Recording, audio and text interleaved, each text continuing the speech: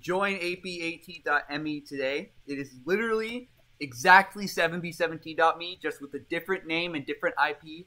It has good, better DDoS protection than 7b did too as well, because I upgraded that with the money I got from CubeASD. So join 8b8t.me today if you want the same server you've been playing for the past year.